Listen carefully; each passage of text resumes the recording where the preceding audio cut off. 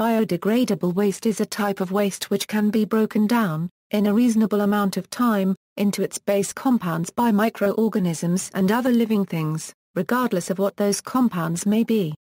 Biodegradable waste can be commonly found in municipal solid waste as green waste, food waste, paper waste, and biodegradable plastics. Other biodegradable wastes include human waste, manure, sewage, and slaughterhouse waste. In the absence of oxygen, much of this waste will decay to methane by anaerobic digestion.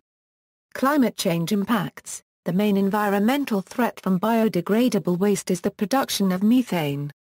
Uses of biodegradable waste Biodegradable waste can be used for composting or a resource for heat, electricity and fuel by means of incineration or anaerobic digestion. Swiss Kompogas and the Danish AIKAN process are examples of anaerobic digestion of biodegradable waste.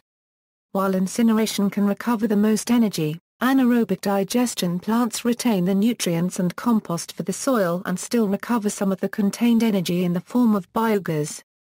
Kompogas produced 27 million kWh of electricity in biogas in 2009.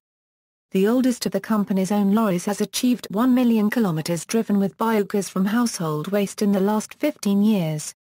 Areas relying on organic waste, featured in an edition of The Economist that predicted events in 2014, it was revealed that Massachusetts creates roughly 1.4 million tons of organic waste every year.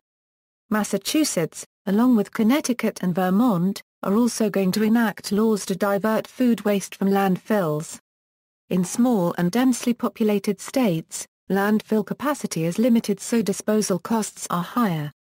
Decomposing food waste generates methane, a notorious greenhouse gas.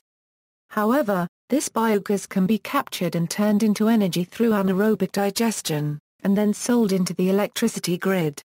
Anaerobic digestion grew in Europe, but is starting to develop in America.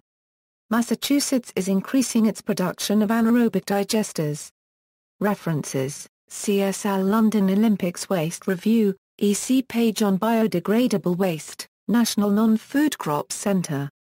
NNFCC report on evaluation of opportunities for converting indigenous UK wastes to fuels and energy, recycling chain, AIKAN website, Lorry has driven 25 times around the Earth using gas from biodegradable waste. See also, biodegradability prediction, biodegradable bags, biodegradation, biodrying, brown waste, green waste, landfill diversion, list of waste types, minor waste, sewage treatment.